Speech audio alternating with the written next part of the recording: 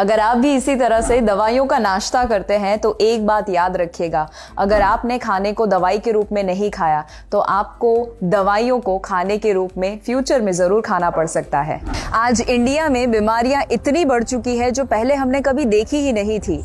आज रिसोर्सेज की कोई कमी नहीं है नॉलेज की कोई कमी नहीं है मेडिकल इंडस्ट्री ग्रो कर रहा है बट फिर भी क्यों बीमारियाँ इतनी बढ़ चुकी है? बिकॉज़ जो मिसिंग लिंक है, वो है आपका खाना। रॉन्ग ईटिंग हैबिट्स आज बढ़ने की वजह से ही हमारे बॉडी में जो कमी न्यूट्रिशन की कमी और जो अलग अलग पेन बढ़ चुके हैं चैलेंजेस बढ़ चुके हैं, उसकी वजह सिर्फ़ और सिर्फ़ खाना ही है। हमें एक्चुअली खाना इसीलिए खाना चाहिए ताकि हम जो बॉडी को घिसते हैं हर रोज, उसका रिपेयरिंग हो सके और दूसरा उसका ग्रोथ हो सके। बट आज क्योंकि हम इतना प्रोसेस्ड खाना खा रहे हैं जंक खाना खा रहे हैं, उसकी वजह से ना तो बॉडी का पेन का रिपेयरिंग हो रहा है वेरेंटेयर ठीक हो रहा है और ना ही हमारा ग्रोथ हो रहा है, जल्दी बुढ़ापा आ रहा है और बीमारियाँ आ रही है।